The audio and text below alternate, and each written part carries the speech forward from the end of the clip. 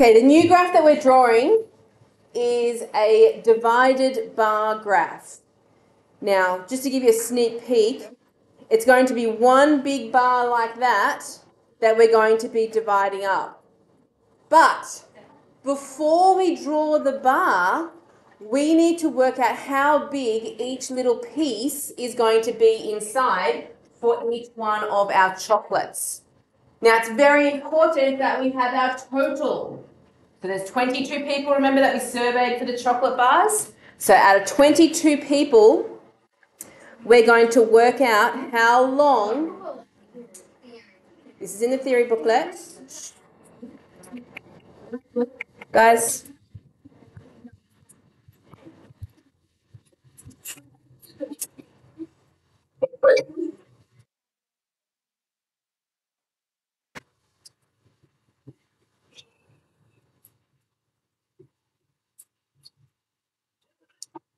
we need to work out what fraction of each chocolate bar that we have. So starting with Crunchie, 5 out of 22 people liked Crunchies. Okay? Now, when you are designing, when you are doing this yourself, there's no set rule that says how long you're going to make this bar down here.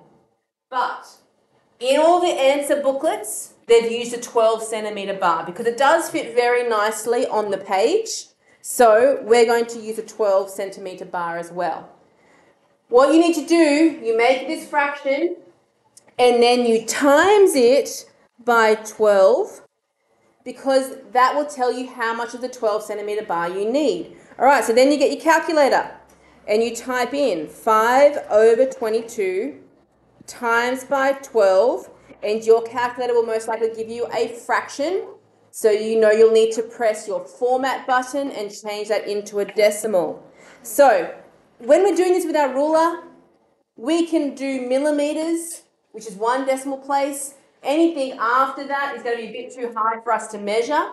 So we're going to round everything to one decimal place. So that would be 2.7 centimeters. Okay, now we're going to do the next one. The next one was Turkish Delight.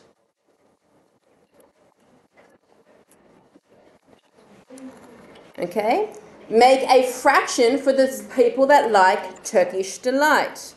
Six out of 22 people like Turkish Delight, and we're going to times that by 12 because we're going to do a 12 centimeter bar. Okay, so that number on the end is always the length of the bar that you're going to do. And to make your answers the same as the one in the answer booklets, we're going to use the answer, the number 12. Enough talking, please, year seven. We're not up to that part yet, but no, it doesn't. Okay, in your calculator. 6 over 22 times by 12. Make sure it's a decimal. To one decimal place, that would be 3.3.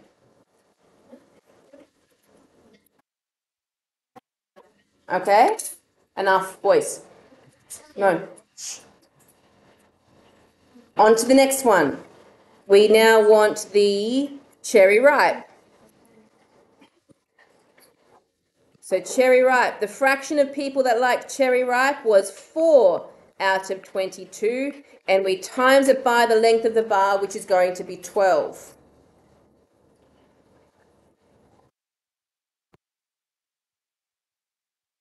Okay, so as a decimal, that will be 2.2 if we're doing one decimal place. And lastly, picnic is 7 out of 22 times by 12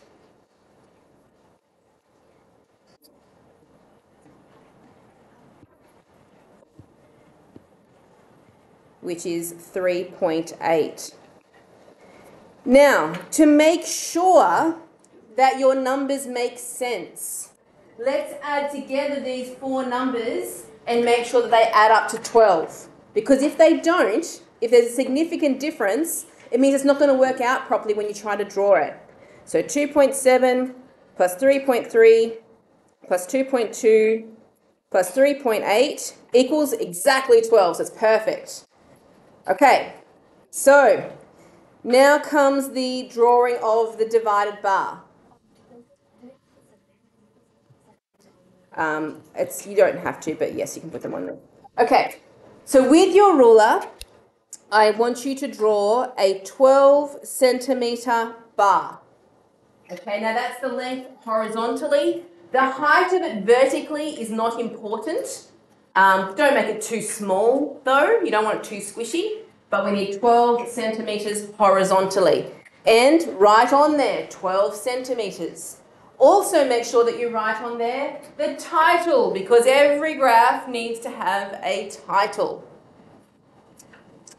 Give you a second to draw that nice and accurately because again, if this is on your test, I get my ruler out and it's a pain because I have to rule, measure every single person's graph to make sure your spaces are the right length. No, the heights, I'd probably do at least maybe three centimetres, about that. Don't make it too small, but that's height's not important.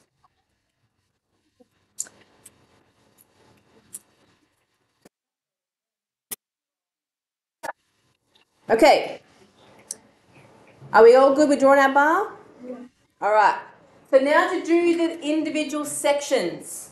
The Crunchie needs to be 2.7 centimetres. So line your ruler up and measure 2.7, which for me is going to be there. It's a bit hard to see with my ruler, right there. Okay?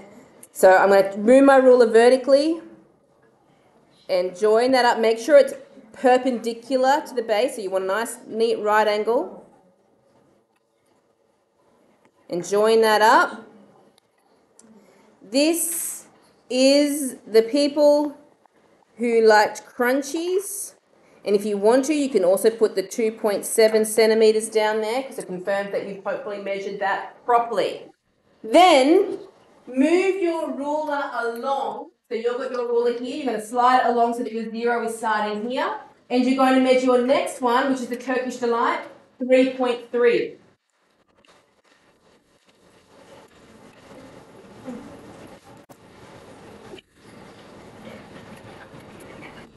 Okay, so 3.3 for me is there.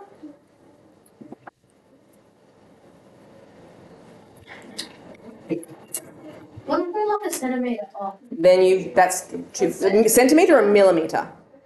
Millimeter. Millimetre I can live with, a centimetre no, too big. One, I would say you're safe. Two is getting, more than two, two and more is getting risky. It's the last one I have. Or bring your own.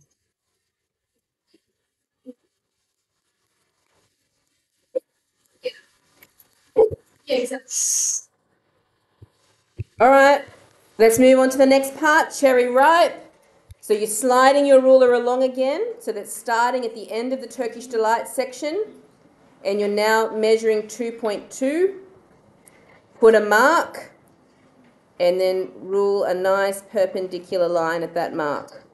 You want to check that your last section for picnic should be perfectly, hopefully perfectly, 3.8. Or mine might be a millimetre out, but it's pretty close. Yep, so I'm going to write those in. We're going to put cherry ripe in here.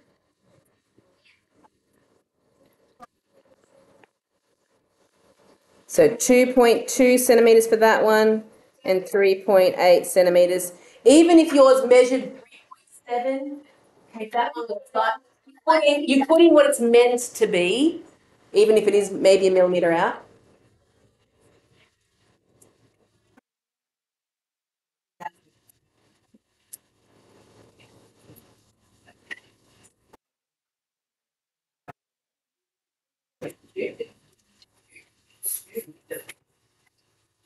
Oh no, you don't point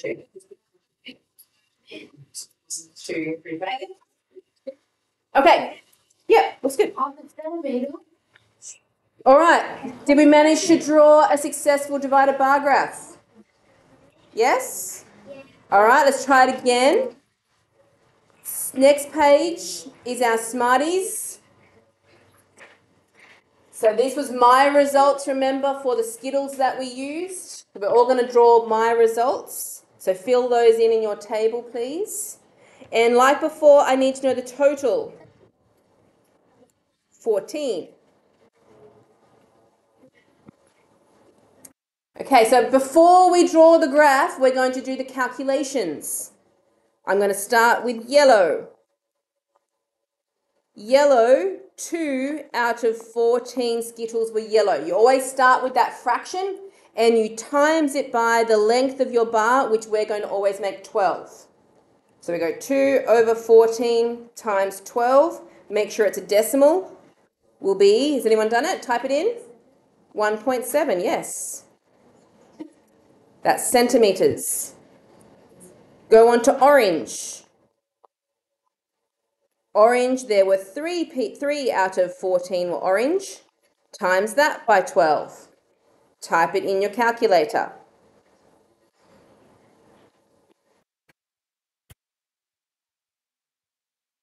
No, you don't have to. To 2.6. Remember, one decimal place. Round to one decimal place. Next one. Red. There is 2 out of 14 times by 12.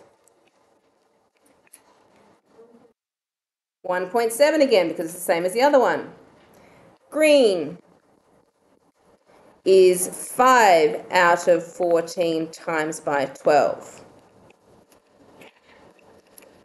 which is 4.3. And purple, this is an easy one because we've already done 2 out of 14 times 12 twice already, so that's another 1.7. Okay? So these are all in centimetres. You don't put the centimetre on it, that's okay. The main thing is that I can see your calculation in there. And then you will draw up your divided bar. So like last time, 12 centimetres long. Please try and make it a perfectly right-angled rectangle. Okay, you don't want to have these lines sloping in or out because then it's not accurate. It needs to be perfectly little right angles, 12 across the top, which means it should be 12 across the bottom and the top, and 9 straight sides on either end. Make sure it has a title. Okay, and now we will start measuring our spaces. So yellow was 1.7.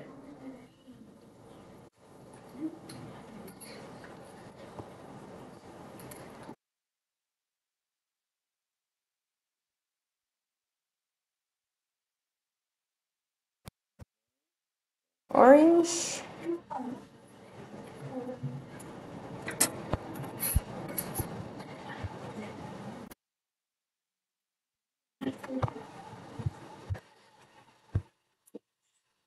So this was yellow, which should be 1.7 centimeters long.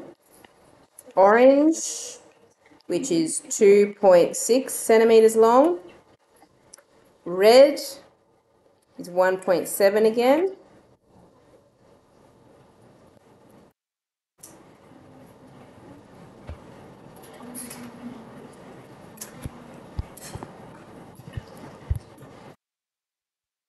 Then green is 4.3.